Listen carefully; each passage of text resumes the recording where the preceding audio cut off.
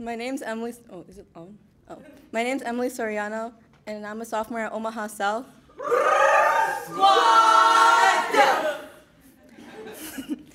and I'll be reading Not a Choice.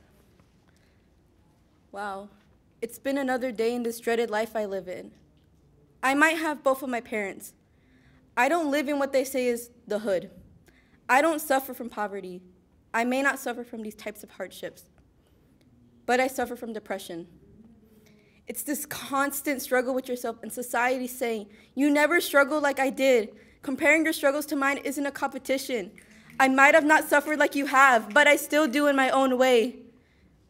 As a child, I've suffered from it without knowing what it even was, only to shut myself out because I was being bullied for being the weird girl in school, having the worst social skills you could possibly imagine, having to go through a mentally abusive relationship with someone that I trusted.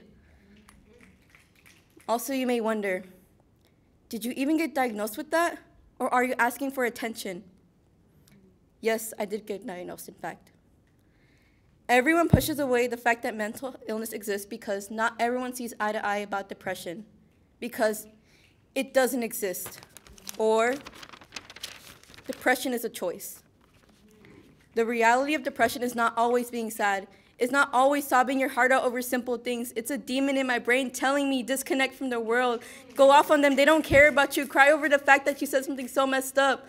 Go and do whatever. You'll regret it later. This demon attacks my mind every single day, and to many people like me.